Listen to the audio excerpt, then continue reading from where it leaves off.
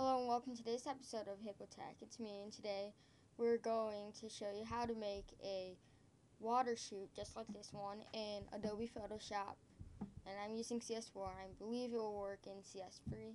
But we're going to go on to the tutorial now. So the first thing we want to do is open up a new page. So file, new. We're just going to name it water um, and you want it to be 7 by 7 inches in RGB color. Press OK.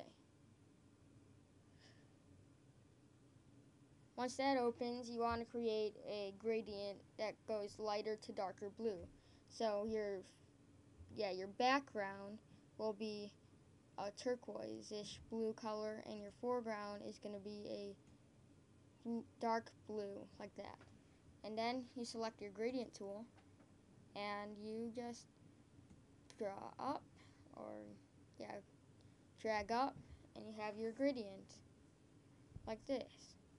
Next you want to make a new layer layer new layer.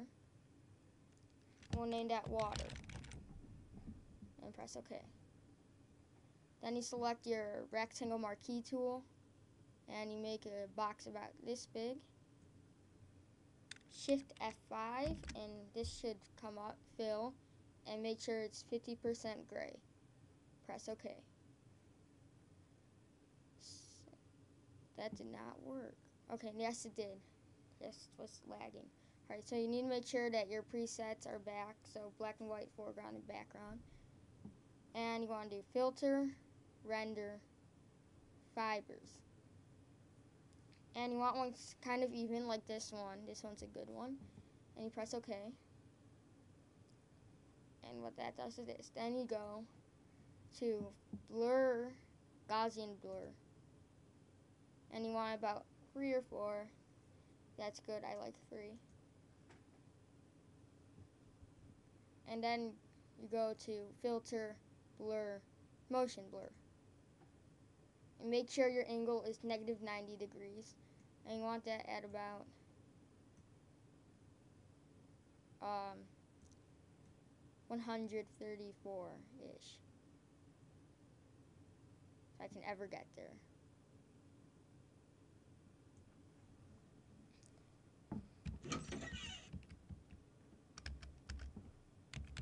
Alright, so 134.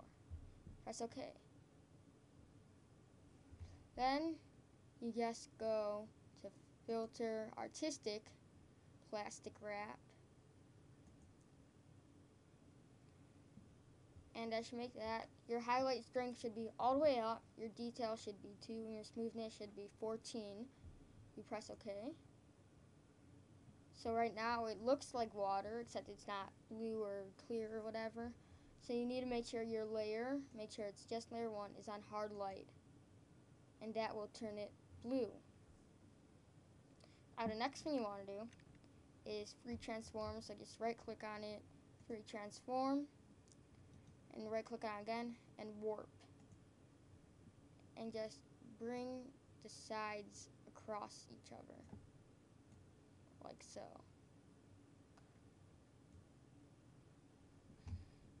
Just bring that down.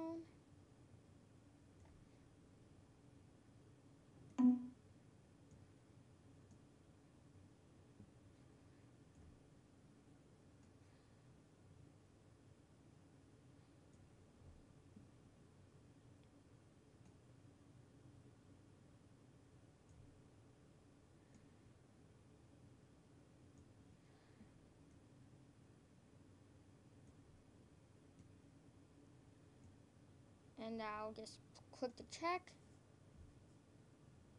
You can move it a little bit if you want to. And then you're done. That's the tutorial. Thanks for watching. Tune in next time for some more tutorials just like this one. And bye